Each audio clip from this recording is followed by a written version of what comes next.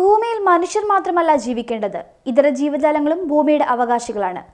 മറ്റ് ജീവജാലങ്ങളെ സംരക്ഷിക്കേണ്ടത് ഭൂമിയെ അടക്കിവാഴുന്ന മനുഷ്യന്റെ കടമയും ഉത്തരവാദിത്വവുമാണ്. ഈ തത്വമനുസരിച്ചാണ് ജോസ് മാത്യു എന്ന അൻപത്തെട്ടുകാരൻ ജീവിക്കുന്നത്.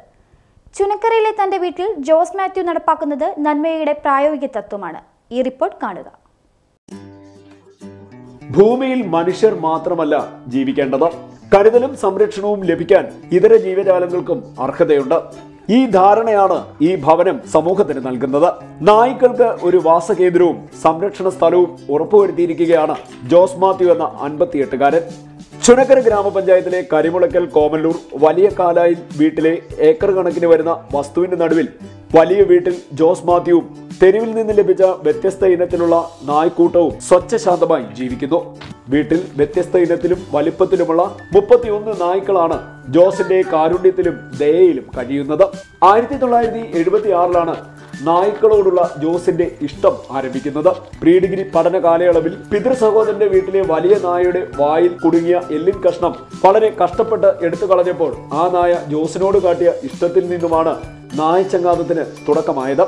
വളർത്തിയവർ ഉപേക്ഷിച്ചവ റോഡിൽ പരിക്കേറ്റ് കിടന്നവ രോഗം ബാധിച്ചവ എന്നിങ്ങനെ വ്യത്യസ്ത സാഹചര്യങ്ങളിൽ നിന്ന് ലഭിച്ച നായ്ക്കളെയാണ് ജോസ് എടുത്ത് പരിചരിച്ച് വളർത്തി മിടുക്കന്മാരും മിടുക്കികളുമാക്കുന്നത്. വീടിന്റെ ടെറസിന് മുകളിലും വിശാലമായ പറമ്പിലെ മൂന്ന് കൂടുകളിലും വീട്ടിനുള്ളിലുമെല്ലാം നായ്ക്കൾ യഥേഷ്ടം വിഹരിക്കുന്നു. എണ്ണം വർദ്ധിച്ചപ്പോഴാണ് കുറച്ചുപേരെ ടെറസിന് മുകളിലേക്ക് ജോസ് മാറ്റിയത്. ഇവിടെ ഇവർ സ്വതന്ത്രരാണ്. നായ്ക്കളെ വളർത്തുന്ന ജോസിന്റെ പ്രവർത്തനങ്ങൾക്ക് കുടുംബം സർവ പിന്തുണയും നൽകുന്നുണ്ട്. പേരുകളിലെ വ്യത്യസ്തതയും അതിന് വഴിയൊരുക്കിയ സാഹചര്യത്തെ പറ്റിയും ജോസ് പറയുന്നു. ഒന്ന് രണ്ട് കൊച്ചു പട്ടികളൊക്കെ ഉണ്ടായിരുന്നു. സ്ഥിരമായിട്ട് ഇങ്ങനെ ഓരോരുത്തർ ഉണ്ടെന്നിട്ട് ഈ റോഡരികിലൊക്കെ കളഞ്ഞു ചെയ്യും. ഒത്തിരി വണ്ടി കയറിയൊക്കെ ചാവും. അത് കാണുമ്പോൾ ഒരു സങ്കടം തോന്നും. ഇഴഞ്ഞു കിടന്ന കുഞ്ഞുങ്ങളെയൊക്കെ എടുത്ത് അവർക്ക് ഇച്ചിരി പാലൊക്കെ കൊടുക്കും അല്പ സ്വല്പം ആഹാരം കൊടുത്തു കഴിഞ്ഞപ്പോൾ പിന്നെ ഇവർ നമ്മുടെ വിട്ടു പോകത്തില്ല. എന്തായാലും ജനിച്ചു പോയോ. മരിച്ചാൽ എന്തെങ്കിലും മരിക്കുമല്ലോ. അപ്പോൾ മരിക്കുന്ന മരിയെങ്കിലും നാട്ടുകാരെ തല്ലു കൊള്ളാതെ ആട്ടി കുടിക്കാതെ ഇവിടെ കിടന്നിട്ട് ഞാനും വിചാരിച്ചു. ഞങ്ങളുടെ എല്ലാവർക്കും താല്പര്യം ഇവിടെ എന്റെ ഭാര്യയ്ക്കായാലും മക്കൾക്കായാലും എല്ലാവർക്കും വലിയ താല്പര്യമാണ് ഈ പട്ടി വളർത്തൽ കത്രീന കൊടുങ്കാറ്റ് വീശിയടിച്ചപ്പോൾ ലഭിച്ച നായിക്ക് കത്രീന എന്നാണ് പേരിട്ടത്.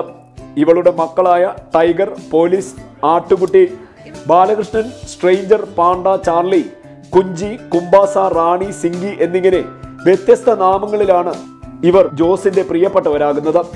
ബാലകൃഷ്ണ എന്ന ജോസിന്റെ വിളി കേൾക്കേണ്ട താമസം ബാലകൃഷ്ണൻ ടെറസിന് മുകളിൽ റെഡി. പേര് ചൊല്ലി വിളിച്ചാലുടൻ ഇവർ ഓടിയെത്തുന്നത് കാണേണ്ട കാഴ്ച തന്നെയാണ്. കുഞ്ചുമോളെ ഡി. അപരിചിതർ വന്നാൽ വെറൈറ്റി കുരകളുമായി ഇവർ രംഗത്തെത്തും. എന്നാൽ ആരെയും ഉപദ്രവിക്കാറില്ലെന്ന് ജോസ് മാത്യു പറയുന്നു. കുംബാസയ്ക്കും മകൾ റാണിക്കുമാണ് വീടിനുള്ളിലേക്ക് പ്രവേശനം. ജോസിന്റെ മടിയിൽ കിടന്ന് ഇവർ ലാളനെ ഏൽക്കുന്നത് പ്രത്യേക കാഴ്ച തന്നെയാണ്. പോമറേനിയൻ ഇനത്തിൽപ്പെട്ടവയാണ് ഈ നായ്ക്കൾ. കുറുമ്പിയുടെ മകളാണ് കത്രീന. സിംഹത്തിന്റെ രൂപവും രൗദ്രഭാവവും ഉള്ളവൾ സിംഹി. ഇവർ കൂട്ടിൽ തന്നെയാണ് വളരുന്നത്. കുംബാസയും കുറുമ്പിയുമാണ് നായ് സംഘത്തിന്റെ നായകർ. പതിനൊന്ന് പെൺപട്ടാളം കൂട്ടത്തിലുണ്ട്. ഗർഭിണികൾക്ക് പ്രത്യേക പരിചരണമാണ് ജോസ് നൽകുന്നത്. പാലും മുട്ടയും പിന്നെ പ്രത്യേക ഭക്ഷണവും ഇവർക്ക് ലഭിക്കും. ജോസിന്റെ നായ്ക്കുട്ടികൾക്ക് ആവശ്യക്കാരും ഏറെയാണ്. സൗജന്യമായാണ് കുഞ്ഞുങ്ങളെ ജോസ് നൽകുന്നത്. ഇവറ്റകളെ നന്നായി നോക്കണമെന്ന നിബന്ധന മാത്രമേ ജോസിനുള്ളൂ. പരിചരണവും തീറ്റ നൽകലുമെല്ലാം ജോസിന്റെ ചുമതല തന്നെയാണ്. രണ്ട് ദിവസത്തിൽ ഒരിക്കൽ വിസ്തരിച്ച് സോപ്പും ഷാമ്പുവും ഒക്കെ ഉപയോഗിച്ചാണ് നായ്ക്കളെ കുളിപ്പിക്കുന്നത്. നായ്ക്കൾക്ക് ഒരു നേരമാണ് ഭക്ഷണം നൽകുന്നത്. അത് രാത്രി എട്ട് മണിക്ക് നൽകും. ചോറിനൊപ്പം ബീഫ് വേവിച്ച് നൽകും. ആഴ്ചയിൽ രണ്ട് ദിവസം മെനുവിൽ മത്സ്യമുണ്ടാകും. ആഹാരം ഞാനിപ്പോൾ ഒരു നേരം കൊടുക്കത്തുള്ളൂ രാത്രി മാത്രം. ഏഴ് മണിക്ക് തുടങ്ങി എട്ട് മണിക്ക് ഡ്യൂട്ടി തീരും.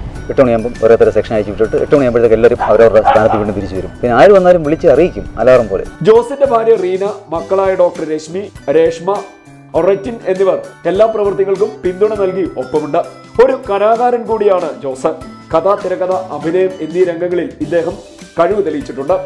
വലിയ കാലയിലെ ഈ ലോകം ഏറെ വ്യത്യസ്തമാണ്. ഒപ്പം സഹാനുഭൂതി നിറഞ്ഞതും കാരുണ്യ നിറഞ്ഞതുമായ ഒരു മനസ്സും ഇവിടെയുണ്ട്. C D news Charummood